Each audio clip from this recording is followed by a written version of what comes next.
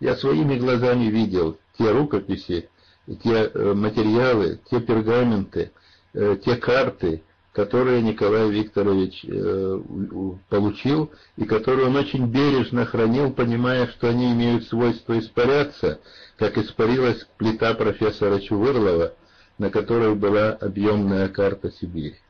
Хотя то, вес этой плиты несколько тонн, но она как-то пропала непонятно куда.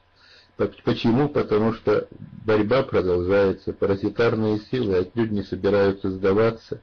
Одновременное горение всех великих библиотек древности – это тоже не случайный фактор.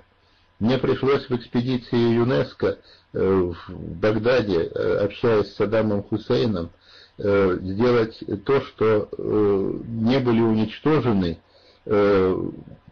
очень серьезные артефакты, и серьезные материалы, э, которые оставались от э, древней шумерской ассирийской цивилизации и которые не устраивали кое-какие э, силы, которые хотели их выкупить, но выкупить так, чтобы они исчезли навсегда. И тогда удалось это задержать. Но зато потом, когда была агрессия против Ирака, первое, куда были брошены американские спецназовцы – в музее, в музее, который они ограбили страшным образом. Правда, к чести Саддама Хусейна, после того, как с ним э, была проведена определенная работа, он значительную часть этих сокровищ вернул их обладателям, и они ушли из Ирака и ушли из иракских музеев, и их до сих пор не нашли те, кто очень хотел найти. Потому что они имели не только сакральное значение – но имели и возможность менять определенно реальность, э, определенным его образом реальность.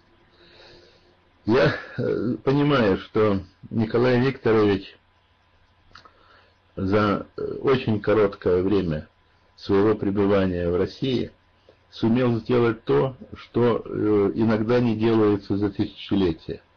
Во всяком случае, к его величайшим заслугам относятся и не только э, чисто научные открытия, причем в разных сферах, вы все о них знаете, я тоже не буду повторять, но и то, что вот его книга «Россия в кривых зеркалах», она э, стала, э, на мой взгляд, величайшим толчком к переосмыслению не только нашей, но и всей мировой истории.